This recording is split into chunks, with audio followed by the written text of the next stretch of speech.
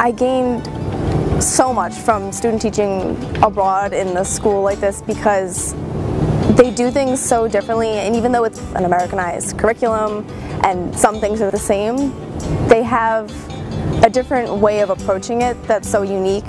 The people that you meet are so incredible. The school is such a lovely, welcoming place to go to.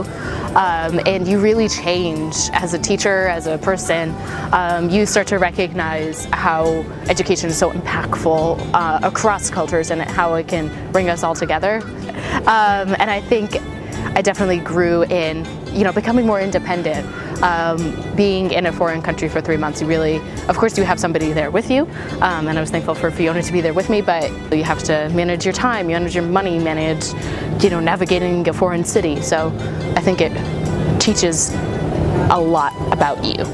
Being more aware of the kinds of diversity that can really be in a classroom is a lesson that I've learned through this experience. I mean, you know, in my classrooms, um, like my college classrooms, I've always, you know, been taught about cultural competence and um, accepting diversity, but this was like on a whole nother level.